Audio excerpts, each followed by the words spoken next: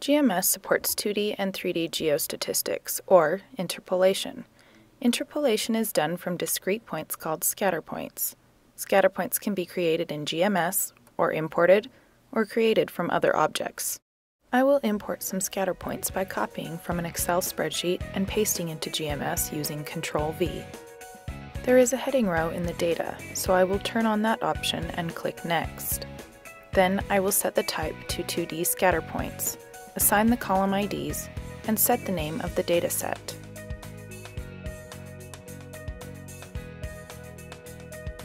After importing the scatter points, I create the bounding grid.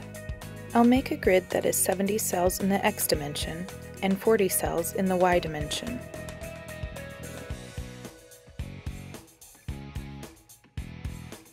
Several interpolation schemes are supported in GMS. This video will demonstrate two options. Let's first use the inverse distance weighted option. And for the nodal function, we'll use gradient planes. Now I'll interpolate to the 2D grid.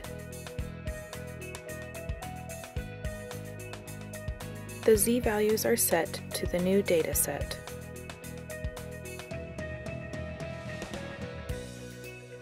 Next, I'll demonstrate the kriging options.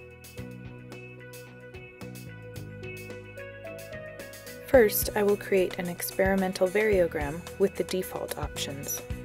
After the experimental variogram is computed, I will then define a model variogram. Using the Gaussian option, I will enter values for the nugget, contribution, and range factors.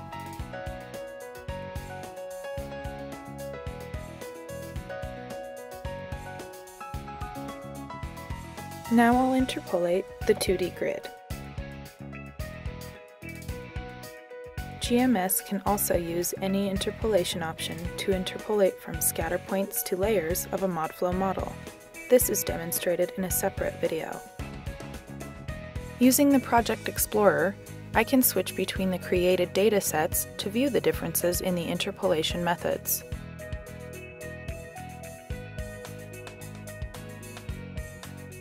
GMS has many of the same interpolation options for 3D.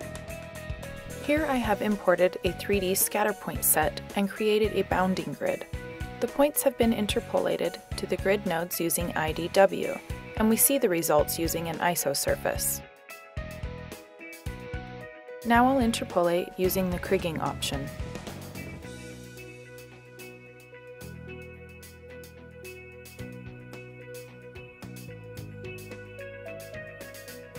Notice the change in the isosurface as a result of the interpolation.